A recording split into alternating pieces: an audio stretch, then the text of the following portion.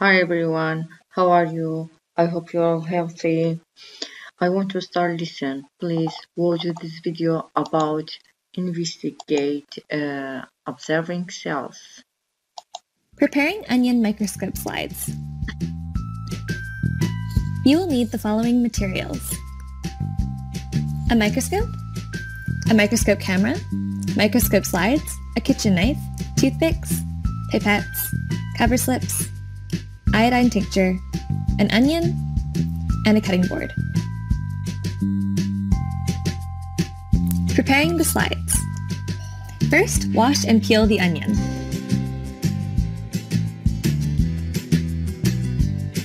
Then, slice the onion as thin as possible. I found that using the thin layer of skin around the onion worked best.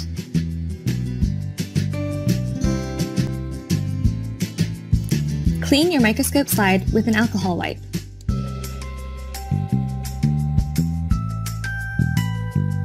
Do the same with the cover slip. Place your pieces of onion onto the slide and reposition them with a toothpick.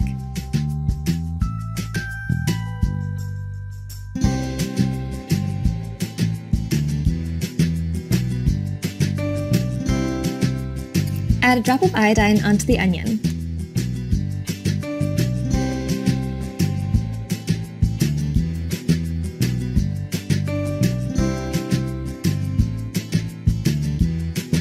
Drop on the cover slip. Apply pressure to the cover slip, but not enough to break it. Now your slide is complete. Now observe under a microscope. You will be able to see the cell wall and the nuclei of the onion cells.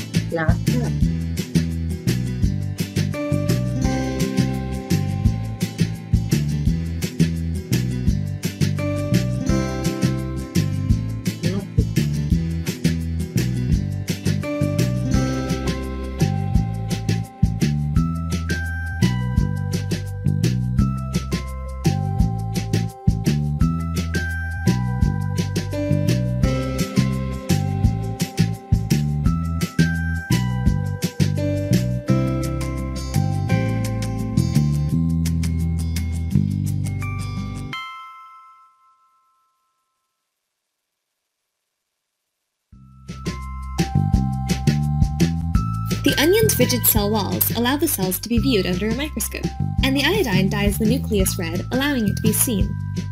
Thanks for watching. Preparing Okay. The first subject, Unit 1, Chapter 1, Lesson 1, page 18, Subject Cells. The discovery of cells. The microslide and reviewer to observe parts of plant and animals under magnification. You can see uh, cells by microscope, but you can't see cells without microscope.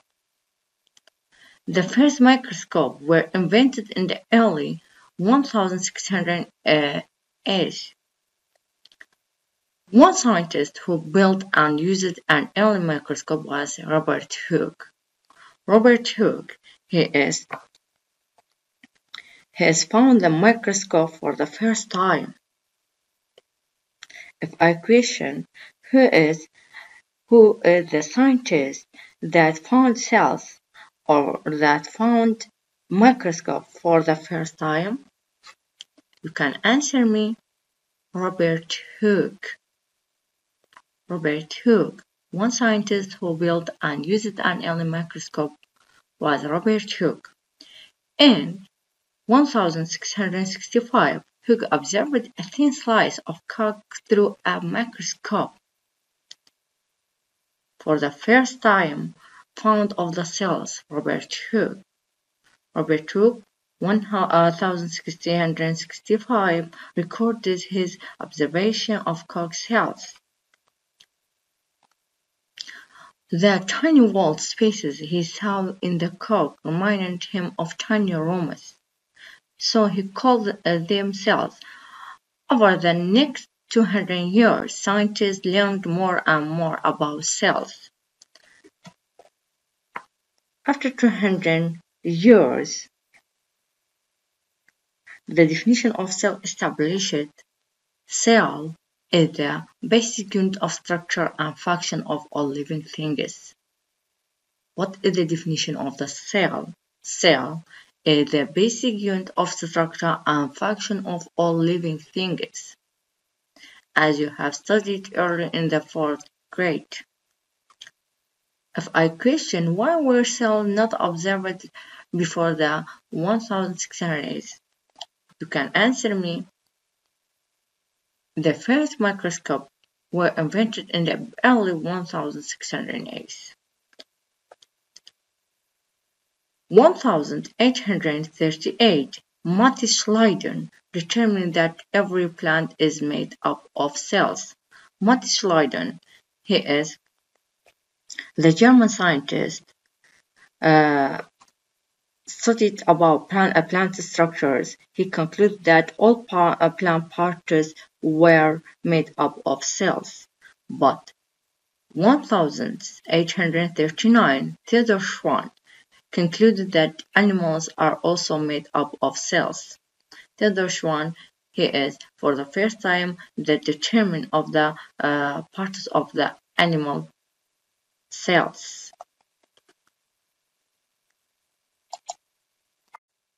Okay, my student is another subject, page 19, kinds of cells. Scientists have classified about a million kinds of plants and animals.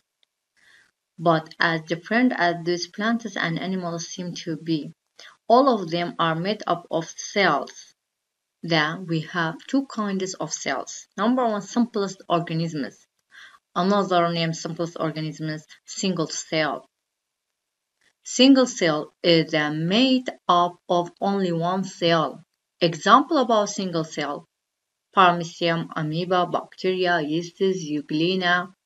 These are in, in the group single cell or simplest organisms because they are made up of only one cell. But many cell is made up of trillions of cells. Example about many cell human, animal, plant. Each kind of cell has a particular function. The size and shape of a cell depend on its function. Example, red blood cells are small and disc-shaped. They can easily fit through the smallest blood vessels, but muscle cells are long, uh, are long and thin. When they contract or shorten, they produce movement. Also, plant cells, different kinds of cells. Some cell, plant cells take in water from the soil. Other cells uh, Uh, protect the plant and still others make food. The skin cells of the plant's leaves keep it from losing too much water. Cells work together, perform ba a basic life process that keep an organism alive. This process including releasing energy from food, getting rid of body wastes, and making new cells for growth and repair. Question, why might bone cells be different from muscle cells? The, this question have to answer. You can answer me because they have different functions. Another answer this question, you can answer me each kind of cell has a particular function. Same means don't difference.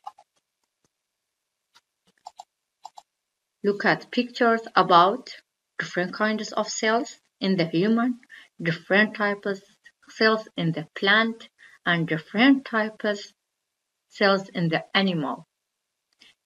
Each cell have a specific shape, and function and size. Okay, my pupils, another subject, page 24, tissues, organs, and systems. How your body organs, how your body organization, your body organization, similar cells work together to form tissue. Similar tissue work together to form organs. Organs work together to form system.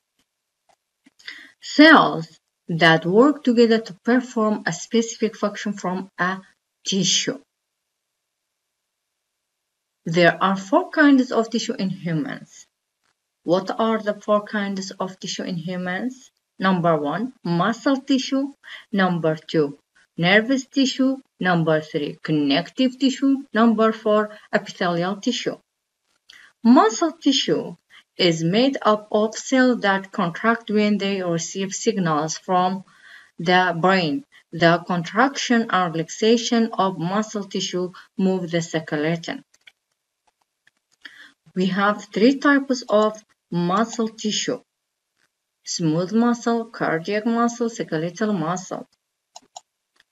But nervous tissue, nervous tissue, the brain or spinal cord as well as the places where sight, hearing, taste, smell and touch begin are all the nervous and all are all nervous tissue. But connective tissue is the third kind of tissue. It includes the tissue in bones, cartilage, and tendons. Also, blood is a connective is a connective tissue. This type is of connective tissue. Bone connective tissue different from blood connective tissue, cartilage tissue, cart uh, cartilage connective tissue, And number four, the final kind of tissue, epithelial tissue. Epithelial tissue includes the body covering.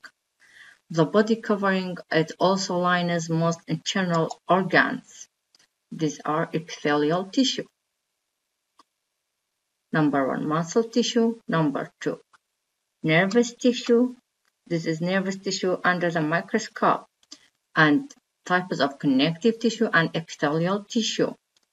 Similar tissue, similar tissue, similar tissue that work together, together to form organs, organs. Example about organs, liver, brain, lungs, stomach, small intestine, heart. These are kidney. These are example about organs. Organs that work together to perform a function from a system. Example about system. This is body system, circulatory system, our respiratory system,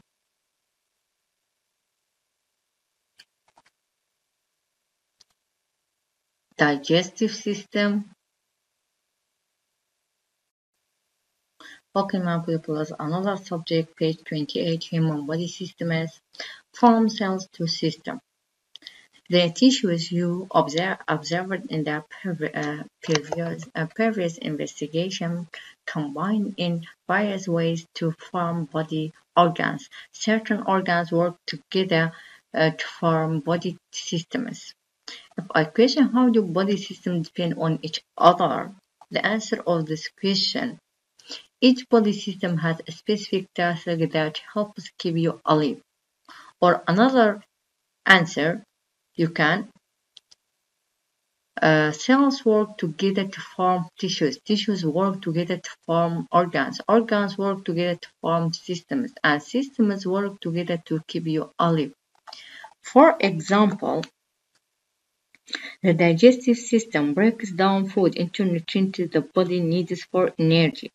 But without the circulatory system, the nutrients couldn't travel to the parts of the body that need them.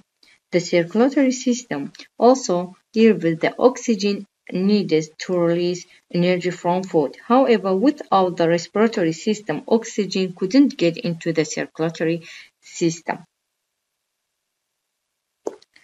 And all Body process produce waste that must be removed the excretory and respiratory systems. Share this function with transpiration provided by the circulatory system.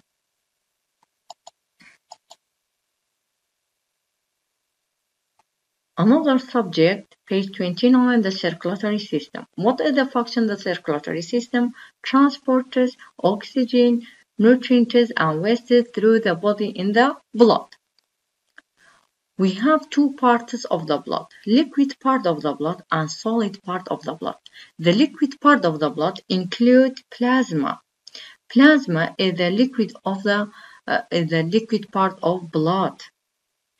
What is the contained in the plasma? The contained in the plasma, number one, dissolved nutrients, number two, waste products, such as products carbon dioxide.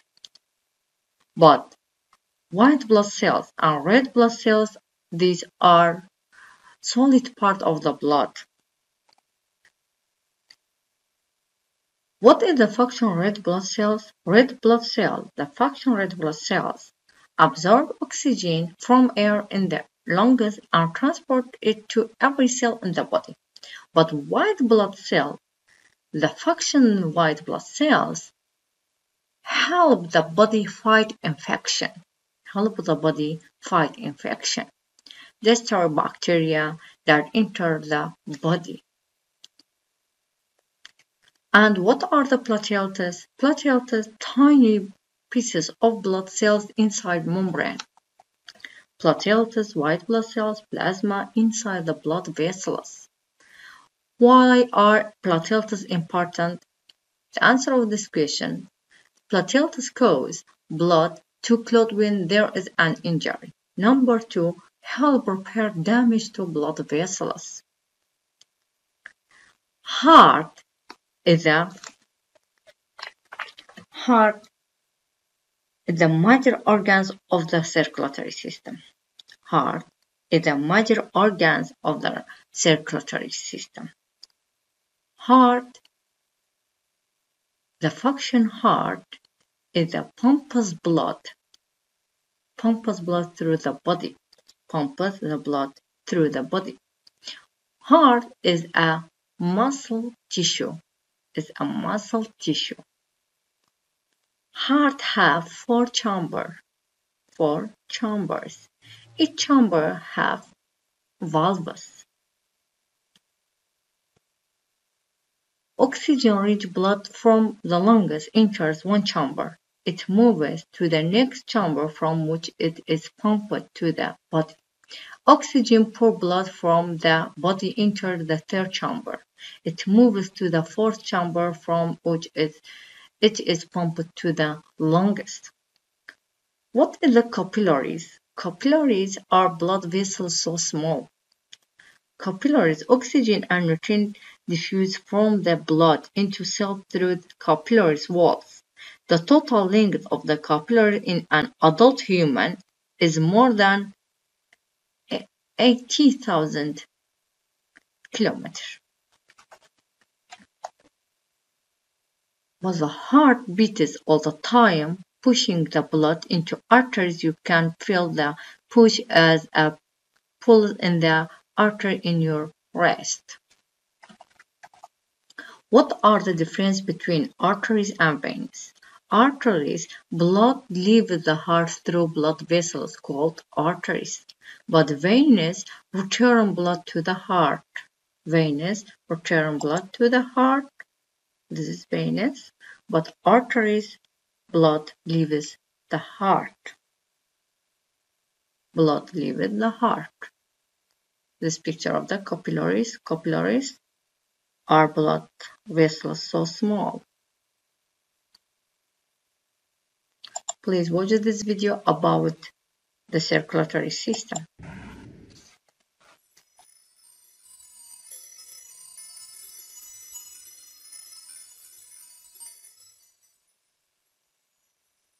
You can feel your heart thudding away every time you put your hand to your chest.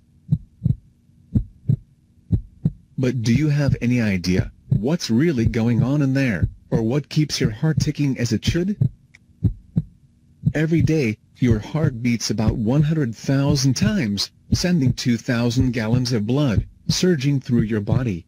Although, it's no bigger than your fist, your heart has the mighty job of keeping the blood flowing through 60,000 miles of blood vessels. that feed your organs and tissues. Food, water and oxygen are essential for the existence of human life. Blood transports all these substances through various channels called blood vessels. Blood vessels involves arteries, veins, capillaries.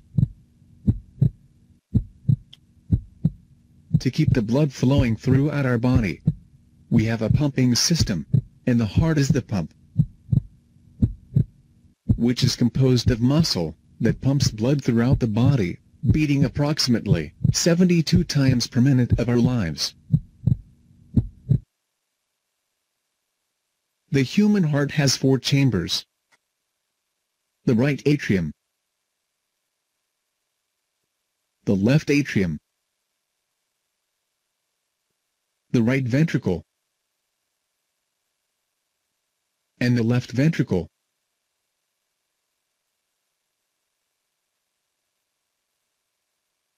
There are four valves in the heart. These valves are tricuspid valve, mitral valve, aortic valve, pulmonic valve. These valves are one-way valves. Now, you have seen the structure of the heart. Let us find out how it works. The blood becomes oxygen-rich by absorbing oxygen in the lungs. The function of the heart starts when oxygenated blood is carried from the lungs to the left atrium of the heart by means of the pulmonary veins. The left atrium relaxes, this blood is pumped into the heart. When the left atrium contracts, the left ventricle relaxes simultaneously. The left atrium pushes the blood into the left ventricle through the one-way valve. When the left ventricle contracts, the blood is pumped into the aorta, which carries oxygenated blood to the different parts of the body, except the lungs. Oxygenated blood reaches the different parts of the body through the blood vessels called the arteries.